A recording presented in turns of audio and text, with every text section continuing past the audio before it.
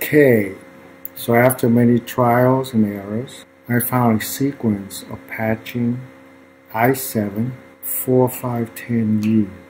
This HP X360 HD 4400.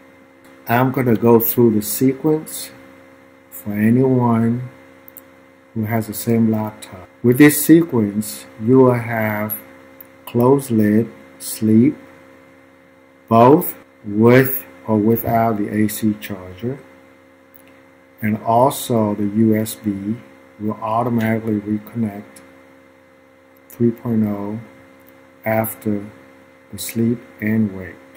First, we duplicate all the SSDT and DSDT that we extracted from read write everything from Windows. So these are raw files. So what we need to do is to disassemble all of this. CD, drag the whole folder in here. So now the next one I want to do, to disassemble it, we need to use IASL with the flag minus DA star dot AML. So now we look inside here, we have all the DSL. Is to find out where the GFX0 is, and I already found out it was in SSDT3, which is GFX0 is here. So there's two files in here that we're going to use to patch the whole system. It's the DSDT and SSDT3. So the first one we want to do is to duplicate the original one first. Duplicate. Now I have one. So normally I call, I rename this DSDT2 with SSDT3. I'm going to duplicate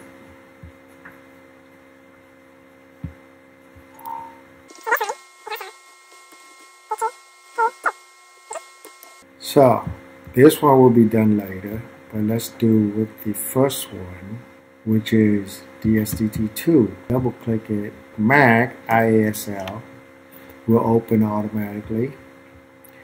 First, we need to set this up. The preference,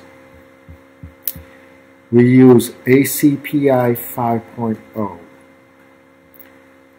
Now, general, we just leave everything as supposed to be. But the sources is very important.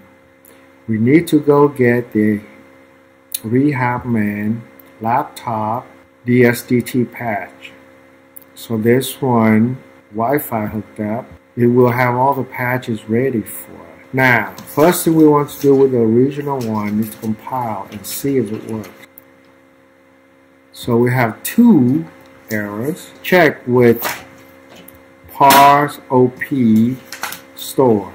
And I remembered he had one fixed already. Store, okay? So let's check that. So there's two patches and two changes, so it looks good. So let's do apply, close it, and compile. So now we have three different errors. So if we see anything that name already exists in scope, we just command the whole line out. So 60. So to command something, forward slash star and to the other side star and forward slash. That means we command that whole line out. So number 62, same thing. So now let's find the next one, the next error. Result is not used. Operator has no effect. This one, there's two ways to do this one. And I found that it works for me better if I use 0, arg0 I mean. I think it's argument, comma, and 1. So this is how you fix this one. Or you can use argument 1, comma, arg0, but this one works for me. Zero error now. So what we're going to do is to save as DSDT2 the step 1 compile.